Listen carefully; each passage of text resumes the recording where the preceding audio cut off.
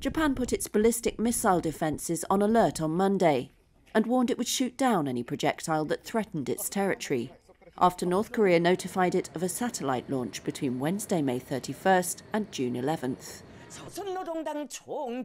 North Korea says it has completed its first military spy satellite, and leader Kim Jong un has approved final preparations for the launch. Analysts say the satellite is part of a surveillance technology program, which includes drones and is aimed at helping nuclear armed North Korea to strike targets in the event of war. Japan's defense ministry said in a statement it would use its Standard Missile 3 or Patriot Missile PAC 3 to destroy a North Korean missile. Japanese Prime Minister Fumio Kishida told reporters such a launch would be a serious violation of UN Security Council resolutions condemning North Korea's nuclear and missile activity. South Korea also called on the North to scrap the planned launch. And China's foreign ministry called for dialogue to ease the escalating tensions.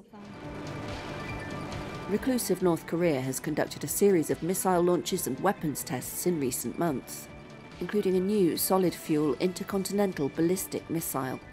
Japan expects Pyongyang to fire the rocket carrying its satellite over the southwest island chain as it did in 2016, a Defence Ministry spokesperson said.